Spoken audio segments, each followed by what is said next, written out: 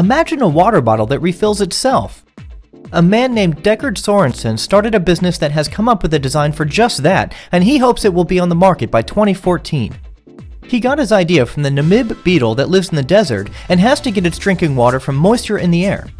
Sorensen said, Every morning this beetle climbs to the top of a sand dune, sticks its back in the wind, and drinks 12% of its weight in water. We use nanotechnology to mimic this beetle's back so we too can pull water from the air. His invention uses a fan to blow air over a specially coated surface that promotes condensation as the air passes and collects into the bottle.